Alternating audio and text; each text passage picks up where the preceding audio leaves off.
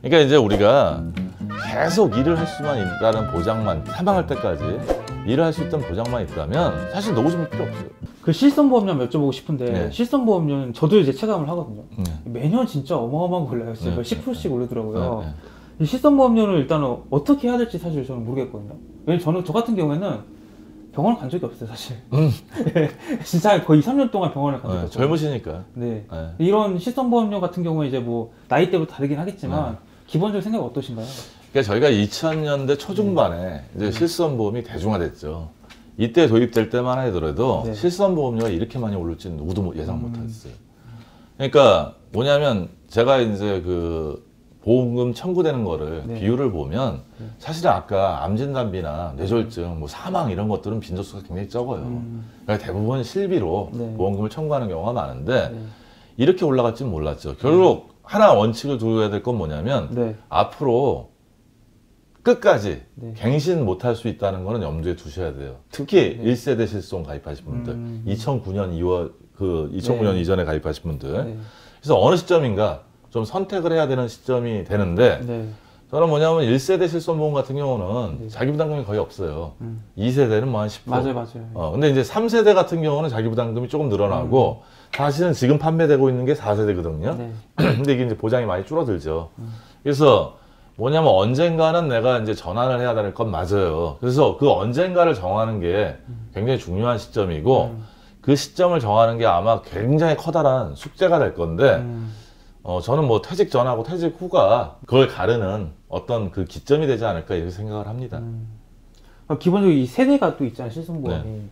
그러니까, 그러니까 저는 뭐 잘 모르지만 이 기본적으로 갖고 있는 생각이 세대가 바뀔수록 나빠진다라는 생각이 있어요. 뭐, 뭐 적자도 심해진다 하고 뭐 요율이 계속 올라가는 것도 어쨌거나 뭐 기본의 구조가 지금 잘 안 맞으니까 바꾸는 거잖아요. 이- 일단 이 생각 맞는지도 궁금하고 어떤 세대가 좀 뭐 어떻게 선택을 해야 되는지도. 그러니까 일단 우리가 네. 실손보험은 갱신이라는 거에서 이제 방점을 찍어야 돼요. 네. 그래서 아주 옛날에는 5년 갱신 상품이 있고 네. 그 다음에 3년 갱신, 네. 그 다음에 이제는 전부 다 1년 갱신으로 이제 다 통일이 됐어요. 네. 갱신될 때 보험료가 어떻게 변동이 되냐면 네. 나이하고 손해율에 따라서 변동이 돼요. 음. 그래서 보험은 나이가 많으면 무조건 보험료가 비싸요. 네. 그러니까 나이를 적용받는 나이에 대한 거는 별로 크지 않단 말이에요. 음. 근데 아주 나이가 많지 않은 한. 네. 근데 이제 문제는 이제 손해율인데 네. 손해율이라는 건 어떤 거냐면 네. 보험회사가 그 가입자들한테 보험료를 100원을 받았어요. 네. 그럼 100원보다 적게 나가면 음. 사실은 뭐냐면 손해율 때문에 보험료가 올라갈 가능성이 없죠. 음. 하지만 지금 뭐냐면 손해율이 135%란 말이에요. 네. 그러니까 100원 받아도 135원을 지급하니까 뭐냐면 보험사는 계속 갱신할 때마다 보험료를 올릴 수밖에 그렇죠. 없는 거예요. 네. 제가 보통은 보험회사에 대해서 뭐라고 하는 경우가 좀 많은데 네. 이 케이스는 뭐냐면 보험회사의 잘못보다는 네. 개인들하고 병원들의 문제도 좀 있어요. 음. 개인들은 뭐냐면 의료 쇼핑하는 경우가 있고요. 음. 아까 이제 우리 앵커님 같은 경우는 뭐냐면 아 나는 보험금도 안 받아갔는데 네. 보험료 올라가니까 너무 짜증나는 거잖아요. 네, 네. 사실은 안 받아가는 게 제일 좋은 거예요. 네. 건강하신 거니까. 그렇죠. 네. 그런데 이제 문제는 뭐냐면 집중적으로 이렇게 100%를 우리가 기준으로 한다면 한 20%가 실비를 받아가는 케이스고 음. 그 중에 또 10%가 네. 많이 받아가는 케이스예요. 음. 사실 이런 경우 때문에 이제 이제 올라간다. 뭐 의료 쇼핑이라고 우리가 보통 얘기하죠. 네, 네, 네. 그다음 우리가 이제 병원에 가면 실손보험 가입했냐 물어봐서 가입했다면 좀 과잉 진료를 해요. 음. 그러니까 물리치료로 끝날 것도 도수치료로 이렇게 하다 보니까 사실 그러면서 손해율이 증가를 하는데 이게 문제는 뭐냐면 내가 보험금을 많이 받아가서 보험료가 올라가면 억울하지는 않은데 이거는 그 가입자들의 연대 책임이에요. 음. 따라서 연대 책임에 의해서 이제 올라가는데 그러다 보니까 뭐냐면 어 처음에 예상할 때 이렇게 올라갈 줄 몰랐다 그랬잖아요. 그러니까 1세대, 2세대, 3세대, 4세대 이렇게 가는 부분은 결국은 뭐냐면 자기 부담금을 높여서 네. 손해율을 낮춰서 네. 보험료 부담을 낮추려는 노력이었어요. 네. 근데 3세대까지 했는데도 안 된 거야. 네. 그러니까 4세대가 나와버린 거예요. 음. 근데 1, 2세대는 네. 아까 제가 말씀드렸듯이 특히 1세대는 음. 2009년 7월, 2009년 이전일 거예요. 그거는 언젠가는 제가 저, 저 전화를 못 할 거라고 얘기를 했고 또 하나 문제는 뭐냐면 거기서 우량한 사람들은 많이 빠졌어요. 빠졌다는 게 없죠. 그러니까 건강한 사람들은 내가 굳이 뭐 이렇게 많은 보험료를 내면서 뭐 10만 원 뭐 이렇게 내면서 네, 할, 수, 네. 할 필요가 없잖아요. 네. 그러니까 가- 그러니까 불량자들이 많으니까 여기 손해율이 더 올라갈 거 아니에요. 아, 네. 이런 어떤 리스크도 좀 있어요. 음. 따라서 뭐냐면 하나 아까 이제 이제 아직 30대 중반이시라 했잖아요. 네. 그렇죠? 이렇게 되니까 이제 뭐 비교하기가 그런데 50대 중반이라고 이렇게 비교를 하면 네. 여태까지 병원을 안 갔어도 네. 앞으로 병원 갈 확률이 굉장히 높아지잖아요. 네, 네. 어, 그랬을 때 이제 효과적인 부분이고, 그러니까 전환은 언제든지 할 수 있다.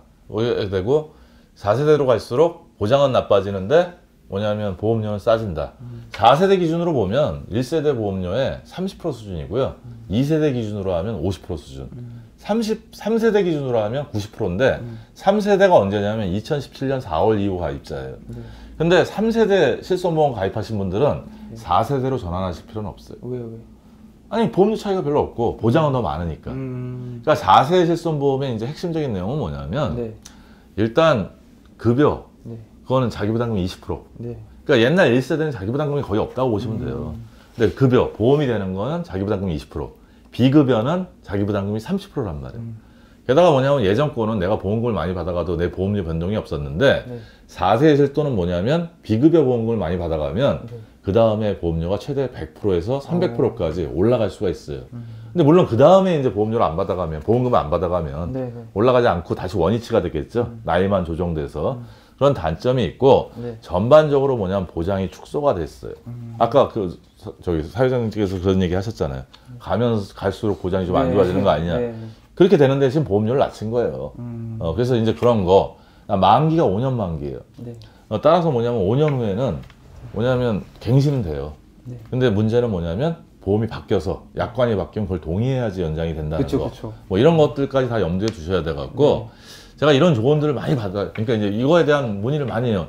저도 아직까지 전환을 못 했어요. 네. 그러니까 이제 실손 실손 전환은 언제든지 할 수 있어요. 음. 요새 보험회사들이 뭐냐면 문자나 톡을 날려서 4세 실손 전환하면 이렇게 보험료를 아낄 수 있는 효과가 있고 할인도 해주겠습니다. 음. 이렇게 알려주는데 그거 떠나서 저도 이제 아직 안 한 거는 뭐냐면 아직은 제가 소득이 있고 음. 벌고 좀 아까 말씀드렸듯이 뭐냐면 지금 이전에는 저도 병원 간 적이 별로 없어요. 네. 앞으로 가게 되면 유용할 것 같으니까 현재까지 내는 거고 근데 제가 이제 아까 소득이 줄어들면 네. 즉 퇴직을 해서 은퇴자들을 얘기하는 거죠 소득이 들면 보장도 중요하지만 아. 얻고 사는 문제가 더 중요하기 때문에 그때는 지금 판매하고 있는 실손 전환을 고려하는 것도 한번 적극적으로 고려해 보실 필요가 있다 이렇게 말씀을 드립니다 그러니까 비용 부담이 이제 감당할 수 없어서 갈아탈 수밖에 없다라는 말씀이시죠. 결론은 이제 누구도 그걸 끝까지 유지할 수 있는 사람은 없어요 지금 올라가는 속도를 보면 네, 그렇죠, 그렇죠. 네. 그 지병이 있다면 기존 실손보험을 유지해야 되는 이유는 왜 그런 그러니까 거예요? 당분간 유지해야 되는 거는 뭐냐면 네. 아무래도 병원 가는 경우가 많고 네, 네. 자기 부담금이 적으니까 네, 네. 어 그럴 때 혜택이 되는 부분이 있는데 음. 이 부분도 뭐 마찬가지로 제가 좀 전에 말씀드렸듯이 음. 계속 계속 만기까지 만기란 건 언제- 언제냐면 옛날 거는 80세 만기도 있고 100세 만기도 있거든요. 네, 그럼 지금 60세에 10만 원이 넘는데 네. 그걸 3년 5년마다 갱신할 때 그 보험료가 네. 정말 몇백만 원 나온다는 맞아요. 얘기가 맞아요. 말이 안그그 납득이 가는 얘기가 되는 부분이고 음. 그렇게 될 때 유지 못하게 되잖아요. 지병이 많더라도 네. 차라리 뭐 저는 항상 생각하는 게 은퇴 자산에서 제가 아까 그 보험 얘기할 때도 그 얘기했잖아요. 처음에 이제 세 가지 하지 말아야 될 거에서 그러니까 보험이 좀 부족하면 네. 아, 은퇴 자산에서 한 2, 3천 정도를 떼놨다가 음. 차라리 좀 부족한 거를 거기서 좀 메꿔 가는 게 훨씬 더 현명하지 않을까 이렇게 생각을 합니다. 그럼 실손보험 아- 안 들고 그렇게 은퇴사를 따로 떼어놓는 방법들은 어떻게 아니 저는 보험이 없는 거는 저- 왜냐면 언제 나한테 리스크가 올지 모르기 때문에 음. 내일 만약에 리스크가 오면 그 치료비가 엄청날 수가 있잖아요. 네. 근데 지금 4세 실손 새로 가입하시는 분들은 보험료 정말 싸요. 음. 대학생들은 뭐 한 6, 7천 원이면 돼요. 음. 어, 요새로 따지면. 음. 그러니까 그 정도 방어 수단은 네. 내가 2, 30%는 부담하더라도 네. 그 정도 방어 수단을 해놓는 거는 저는 필수적이라고 생각을 해요. 작가님이 생각하는 뭐 약간 이상적인 노후 설계라는 거는 결국 모든 리스크를 좀 분산하고 제거하는 쪽인 거죠? 그렇죠. 이제 뭐냐면 네. 앞으로 소득이 늘어날 일들은 많지 않잖아요. 네, 그래서 그런 부분들에서 내가 뭐냐면 지출할 수 있는 그런 범위들을 네, 네. 이제 은퇴 단계로 가면 노후 단계로 가면 줄여놓지 않으면 네, 네. 그러니까 이거예요. 저는 항상 이렇게 느끼는 건 뭐냐면 네. 만일의 경우 네. 이런 이런데 자원을 쏟고 네. 반드시 오는 미래에 대해서는 쏟지 않고 이러니까 음. 뭔가 불균형이 일어나서 우리가 현실보다 더 어렵게 노후를 생각하는 게 아닌가 음. 이런 생각이 좀 들어요. 네. 그 절대 100세 만기 상품 갈아타서 안 된다는 이유는 어떤 거예요? 그러니까 이제 아까 네. 제가 짜장면값 얘기한 거 기억나시나요? 어떤 거? 짜장면값. 아, 예, 예. 예, 국민연금 얘기할 때. 네, 네, 네. 그럼 80세 만 내가 30세 저기 보험을 가입했어요. 네. 암진 단비 2천만 원 받는 거를. 네. 그러면 이제 우리가 이제 72 법칙 뭐 이래 갖고 네. 반감기가 들어가는 게 있어요. 네. 그러니까 물가 상승이 3%라고 감안하면 음. 24년마다 반감이 돼요. 음. 그러면 내가 30세에 가입한 2천만 원은 음. 54세가 되면 1천만 원 가치밖에 안 되고 음. 78세가 되면 500만 원 가치밖에 안 돼요. 네. 그 다음에 이제 뭐냐면 104, 이렇게 102세? 이렇게 되면 음. 250만 원 가치밖에 안 된다는 얘기죠. 네. 그럼 500만 원이나 250만 원이나 대세 지장 없잖아요. 그죠? 음, 음. 그리고 또 뭐냐면 암 같은 경우는 우리가 이제 보통 암에 걸릴 확률이 3명 중에 1명 이런 얘기를 많이 해요. 네. 근데 사실은 뭐 걸려요. 근데 젊을 때 암에 걸리면 저희가 적극적으로 치료를 해야 되니까 네. 돈이 좀 많이 들 수 있는데 75세, 80세 이럴 때 암 치료를 잘못하면 암으로 돌아가시지 않고 맞아요, 맞아요. 다른 합병증으로 돌아가시고 인간의 존엄도 좀 훼손되기 때문에 음. 그때는 적극적으로 치료를 안 하는 게 더 현실적일 수 있단 말이에요. 음. 그래서 이런 부분들도 있고 그 다음에 이제 그러면 아까 80세 만기를 35세 때 내가 가입했어요. 20년 납으로. 그러면 55세면 끝나는 거잖아요. 네. 근데 50세쯤 돼서 내가 아 이거 100세 시대인데 네. 80세 만기 좀 부족한 것 같아. 음. 그럼 이전 거 좀 날리고 음. 어나 새로 가입해야 돼. 음. 그럼 50세 이제 새로 가입하면 앞으로 최소한 보험은 20년 납을 하잖아요. 네. 납기를 줄이면 보험료를 많이 내야 되니까 이제 부담스럽고 음. 그러면 아까도 말씀드렸듯이 퇴직 전에 그 보험료를 내는 거는 약간은 가능하겠지만 음. 퇴직 후에 그 보험료를 내는 거는 굉장히 부담스러울 수 있고 그러다 보면 뭐냐면 그렇게 바꾸신 분들이 그걸 잘 유지 못하고 네. 해지하거나 부분 해약을 하는 경우를 제가 너무 많이 봤다는 거. 음. 노후에는 노후 생활비가 가장 중요하다는 거. 예. 예. 아, 작가님 답변을 쭉 듣다 보니까 굉장히 현실적이네요. 이게 그냥 대- 이상적이거나 뭐 굉장히 그 돈에 초점 맞추는 게 아니고 네. 굉장히 현실적인 그 넛지라고 해야 될까요? 그런 답변이 굉장히 많은 것 같아요. 네. 어. 그 이제 그 우리가 언젠가 다 죽게 되잖아요. 네. 뭐 아까 잠깐 얘기 나왔지만 이제 돈이 있어야지만 자식들이 한 번에 더 만들 때 얼굴 보러 오고 네. 이런 생각도 굉장히 많이 하잖아요. 그 재산에 대해서 이제 여쭤보고 싶은데 일단은 죽을 때까지 재산 갖고 가는 게 맞는 거예요? 어떻게, 어떻게 생각하세요? 재산이 뭐 많지 않으시면 네. 가져가셔도 전 무방하다고 생각을 해요. 네. 많지 않다면. 네. 그러니까 여기서 재산을 물려준다는 얘기는 뭐냐면 네. 내가 물려줄 재산이 있다는 거예요. 음, 그러니까 물려줄 재산이 있다 그러면 네. 그거를 끝까지 가져가시면 결국은 뭐냐면 세금을 많이 내게 된단 말이에요. 음, 그 아까 제가 말씀드렸잖아요. 우리가 탈세를 하진 않더라도 네. 절세를 하는 거는 원한다고. 네. 그럼 절세를 하려면 뭐냐면 시간이라는 게 필요한 부분이 있는데 네. 사망할 때 다 돼서 시간이 음. 없으니까 있는 세금 다 내고 네. 어 애써서 모은 돈 음, 어, 세금으로 다 내고 싶으시면 내시면 되고 음. 그렇지 않으면 좀 아깝죠. 음. 그러니까 이제 세금을 내야 될 그 이상의 재산이 있으신 아, 분들에 그렇죠. 해당되는 네. 얘기죠.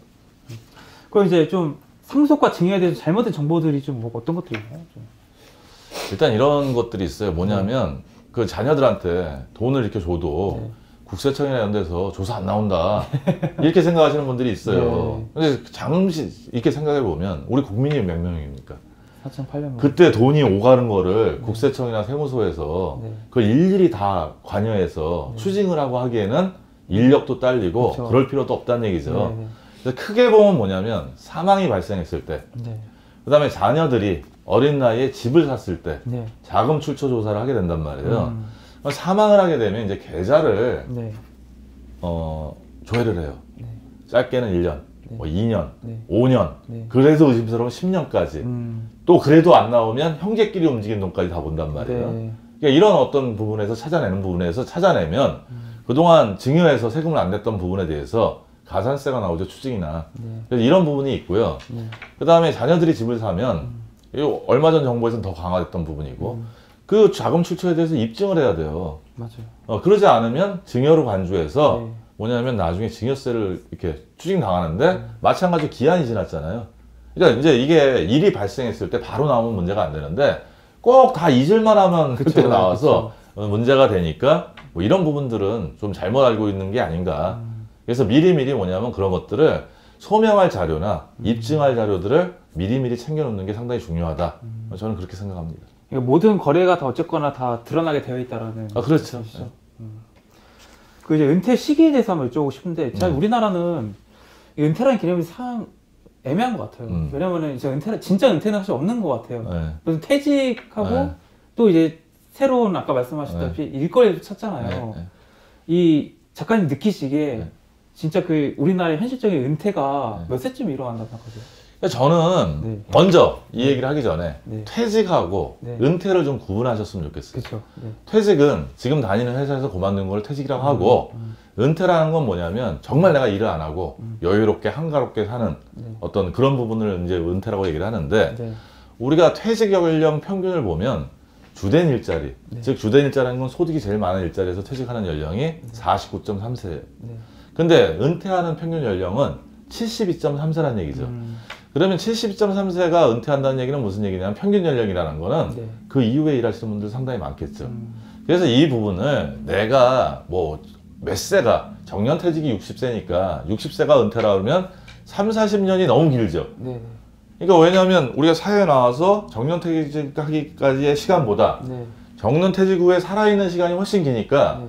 어떻게 보면 저희가 일을 한다는 게 음. 꼭 돈을 번다는 의미만 있는 게 아니고 네. 어떤 건강을 유지하고 자기 개발하고 음. 어떤 시간을 보낼 수 있는 요소가 되는 거잖아요. 네. 네. 따라서 저는 은퇴 준비 정도에 따라서 음, 사람들의 은퇴 시기는 스스로 결정할 수 있지 않냐. 그래서 보면 아까 평균 연령 정도 된다면 네.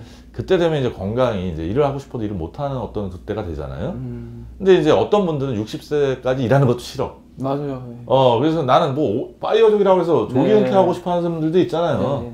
그런 반면에 음. 아 나는 정말 일이 좋고 나 일 때문에 이제 건강하고 거- 일을 통해서도 뭐냐면 사람과의 관계도 유지되고 그다음에 이제 젊어진단 말이에요. 일 안 하시는 분들 이렇게 보면 가끔 빨리 이렇게 늙으시는 분들이 네, 많아요. 이런 시점을 볼 때 통념적인 은퇴 시기 그러면 우리가 연금 받는 시기라고 볼 수 있을까요? 65세? 음, 근데 65세 그 인구가 예전에 65세 인구에 비하면 엄청 젊으시잖아요. 네. 네. 하다못해 이런 얘기도 있잖아요. 지금 나이에 네. 0.8이나 0.7을 맞아요. 곱하면 과거의 노인들의 연령과 비슷하다. 음. 그러니까 시기는 저는 사회 아까 뭐 적정 부부의 노후 생활비가 얼마가 적정하다. 이건 참고치일 뿐. 음, 국민연금을 받는 게 65세다. 이건 참고치일 뿐. 그래서 만약에 일을 좋아하고 하신다면 음. 그 나름대로의 자기의 은퇴 시기를 정하는 게뭐 합리적이지 않을까 저는 그렇게 생각을 합니다. 작가님 생각하시는 그 성공한 은퇴 후의 삶의 모습 이런 게 있나요? 일단 제가 생각할 때는 네. 건강해야죠. 건강. 어, 일단 저는 뭐냐면 제일 중요한 게 건강이라고 생각하는 사람이에요. 이 돈에 대해서 얘기하는 사람이지만 음, 건강이 안 돼 있으면 돈도 많이 나가요. 의료비 지출도 많이 나가고. 네. 그 아까 이제 병원비 얘기하셨잖아요. 네. 75세 정도 기점으로 하면 병원비가 굉장히 많이 나오고 우리가 이런 얘기 많이 하잖아요. 9988 234 네. 들어보셨나요? 네, 네, 들어봤습니다. 어, 99세까지 팔팔하게 살다가 2, 3일 앓고 사망하는 거. 이거 의료비 때문에 그렇거든요. 네. 어, 그래서 이제 건강이 일단 기본적으로 유지가 돼야 되고요. 음. 그 다음에 일단 아까 지금 월급 받듯이 음. 삼 3대 연금으로 기본적인 기초, 기본, 약간 여유로운 은퇴 생활비가 준비되고, 음. 그 다음에 가족 관계 좋고, 음, 그 다음에 제가 할 일이 있다면 일하고, 음, 취미 생활이 있으면 있고, 그 다음에 이때 일자리는 뭐냐면 전일제 일자리가 아니고, 어, 시간제 일자리를 하면서 네. 어, 일의 보람도 느끼고 소득도 조금 얻고 그 다음에 뭐냐면 나머지 시간은 내가 취미생활이나 하고 싶은 일을 하면서 충분히 살 수 있고 네. 이러면서 남한테 손 안 벌리고 살 수 있는 거. 뭐 봉사까지 할 수 있으면 더 좋겠지만 그뭐 누구한테 강요할 수 있는 부분이 아니고 네, 네. 이러면 좀 성공한 은퇴 생활 아닌가 이런 생각을 듭니다. 그래서 구독자분들이 좀 해주고 싶은 말씀 있으신가요? 저는 제가 네. 지금 정말 많은 기업하고 지자체나 이런 데서 강의를 하면서 핵심적으로 느끼는 건 뭐, 네. 핵심적으로 강조하는 건 뭐냐면 네. 우리 노후 준비에 대해서 너무 불안해하고 걱정하지 마시라는 얘기예요. 어, 이미 준비된 게 많으세요. 음, 그걸 모르실 뿐이에요. 음. 어제도 제가 이제 그 대기업 가서 이제 강의를 했는데 네. 국민연금 네. 강제로라도 어떤지 보았지 않습니까? 네. 퇴직연금 있지 않습니까? 네. 단 뭐냐면 아직 부족한 부분 어떤 부분은 개인연금까지 준비를 했지만 음. 그렇지 않은 분들이 개인연금 이 부분이 없으니까 약간 부족할지 모르지만 이미 우리가 강제로 이만큼이 준비가 돼 있으니까 나머지 부족 부분을 준비하는 거는 지금부터라도 좀 만만하게 생각하고 조금이라도 더 노력해서 준비한다면 네. 충분히 우리가 아주 풍요로운 노후 생활까지 몰라도 남한테 손 안 벌리고 좀 내가 하고 싶은 거 어느 정도 할 수 있는 그런 노후의 삶을 만들 수 있을 것 같고요. 특히 40, 50대 분들은 눈앞에 닥친 것 때문에 어제도 뭐, 아 돈이 어딨어 이렇게 얘기하시지만 있어요. 우리 먹고 쓰고 즐기고 하는 돈 다 있잖아요. 네. 그러니까 내가 낼 수 있는 부분에 조금만 투입을 한다 그러면 조금 더 여유 있고 노후 있게 할 수 있는 생활이 되- 노후를 여유 있게 보낼 수 있는 생활이 될 거고요.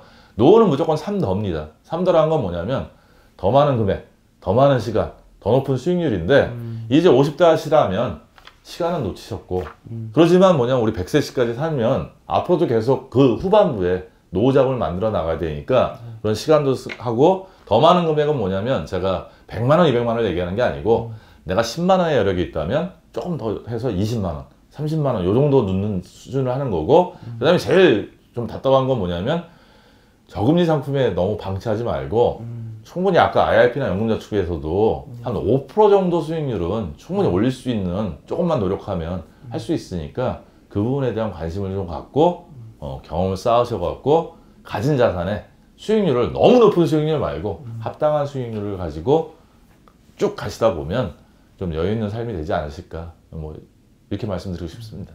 작가님이 말씀하신 건 결국 우리 너무 지나친 노후 공포가 있다. 네. 이거 이거 맞나요? 일단? 네, 저- 아니 저는 그렇게 생각합니다. 어, 그러면은 작가님이 그 수- 수천 명의 사람들 상담하면서 네. 이 사람은 정말 노후에 답이 없다. 음. 이런 케이스는 없었나요? 뭐 일단 뭐냐면 빚이 많을 때 그렇게 되겠죠. 아, 빚이 많을 때. 네. 그러니까 이제 우리가 네. 계속 일을 할 수만 있다는 보장만 사망할 때까지 네. 일을 할 수 있던 보장만 있다면 사실 노후 준비 필요 없어요. 음. 그리고 이제 뭐냐면 지금 많이는 쓰지만 네. 나이 이렇게 나이가 들면 쓰는 거가 좀 줄어들게 되잖아요. 그쵸. 나중에 의료비는 좀 늘더라도 네, 네. 자기가 어느 어느 정도의 목표 너무 거창한 목표 아까 제가 꿈이나 망상 이런 거 말고 목표만 세우면 할 수 있고 네. 제가 좀 걱정스러운 직업군은 아까 이제 안정적인 직업군을 물- 물어봤잖아요. 네. 걱정적인 걱정되는 직업군은 뭐냐면 소상공인이나 프리랜서처럼 공적연금에 가입이 안 되신 분들도 많고 음. 그다음에 퇴직연금도 없으신 분들도 많은데 이분들이 사실 나 저는 걱정해요. 음. 그래서 이분들은 뭐냐면 지금 당장에 이분들은 옛날에는 이런 생각을 했죠. 늦게까지 일할 거니까. 그렇죠. 어. 하지만 지금 자영업 현실이 이제 만만치 않지 않습니까? 음. 그러니까 지금 여유 있- 여유가 없으시겠고 힘드시겠지만 네. 그럼에도 불구하고 우리가 강제 저축을 뛰어놀 필요가 있고요. 음. 제가 강의 가서 항상 강조하는 게 뭐냐면 국민연금이나 퇴직연금을 자발적으로 만약에 가입하는 거로 했으면 여기 계신 선생님들 중에 연금 가입하는 사람 한두 명도 안 됐을 거다. 음. 강제로 뛰었기 때문에 그나마 시간이 흘러서 그래도 우리가 기초적이고 기본적인 노후 생활을 국민연금이나 아니면 공적연금 다른 연금이나 퇴직연금으로 어느 정도는 해놓고 그러기 때문에 조금만 더 준비하면 최소한의 기본적인 삶은 살 수 있다 이렇게 강조를 제가 많이 드려요.